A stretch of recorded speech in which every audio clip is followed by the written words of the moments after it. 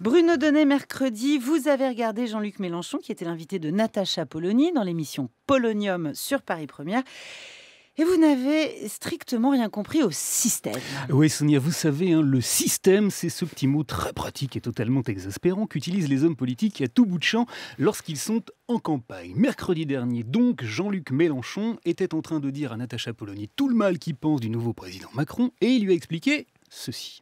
Il a été porté par un système qui a gagné la partie une fois de plus. Mais le système n'a pas gagné la partie de long terme. Alors, qu'est-ce que c'est que le système? D'où vient-il? Qui l'a inventé? On n'en sait rien, la seule chose que l'on sait, c'est qu'il est de bon ton de s'y opposer et que durant la campagne présidentielle, tous les candidats s'en sont pris à lui à grande longueur d'antenne. Je vous ai compilé euh, les quatre principaux.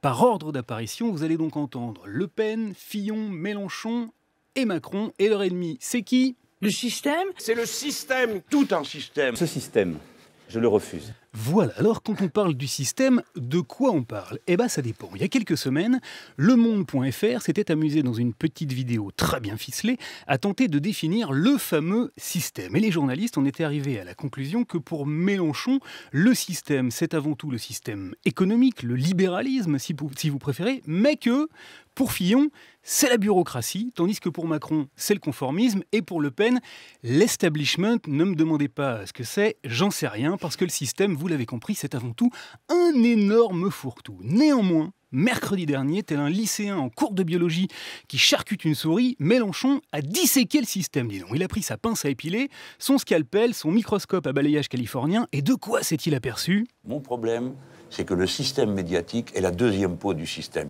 Oh putain, il y a deux pots dans le système. Et le système dont on sait déjà pas ce qu'il est abrite un autre système encore plus fourbe, un système médiatique caché. Bref, s'agissant du système dans le système, si vous avez du mal à me suivre, Sonia, c'est pas dur. Le système, c'est comme les doubichous dont le Père Noël, dont le Père Noël est une ordure. Je ne sais pas si vous avez remarqué, Thérèse, il y a une espèce de deuxième couche à l'intérieur. Il y a une deuxième couche à l'intérieur. Le problème, c'est que c'est beaucoup moins rigolo que dans le Père Noël. Parce que savez-vous ce que Mélenchon préconise pour le système médiatique? Non? Eh bien écoutez donc la suite de sa phrase. Mon problème, c'est que le système médiatique est la deuxième peau du système. Il est donc radicalement et fondamentalement mauvais. Et il doit être détruit. Voilà, il faut détruire le système médiatique. Détruire. Rien que ça. Mm. Alors, tailler des croupières aux journalistes, les traiter de perruches ou de laquais du pouvoir, c'est un sport très ancien pratiqué par Jean-Luc Mélenchon. Exclure certains médias de ses meetings ou de ses conférences de presse, il est également euh, coutumier de la méthode. Du reste, pour se passer en partie euh, des médias, Jean-Luc Mélenchon a créé sa propre chaîne sur YouTube. Mais là, invité à détruire le système médiatique, c'est-à-dire à faire la peau aux journalistes, c'est un pas de plus franchi dans l'escalade systémique. Pour la troupe euh, du Splendide, c'est le Père Noël qui était une ordure. Pour Mélenchon, ce sont désormais les journalistes. C'est moins drôle que les Doubichou et c'est surtout pas beaucoup plus appétissant. Merci Bruno Donnet.